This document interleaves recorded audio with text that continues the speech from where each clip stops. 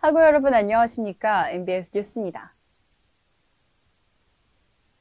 우리 대학 어반 캠퍼스 공사로 인해 주변 아파트 주민들의 불만이 심화되고 있다고 하는데요.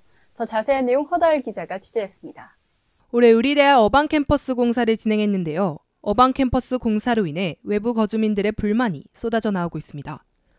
지난 8월 한 인터넷 카페에서 어반캠 공사로 인한 외부 주민들의 불만을 토로하는 글이 게시되었고 외부 주민들은 서대문구청에 민원을 신청하였습니다.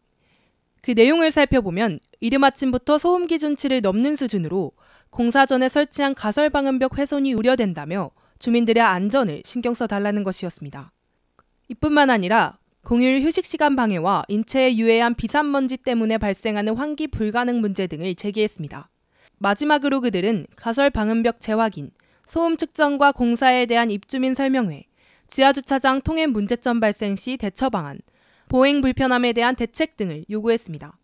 이들의 요구에 서대문구청은 대답을 했으나 이들은 이를 무시한 채 현장 시위, 현수막 설치 등을 감행했습니다.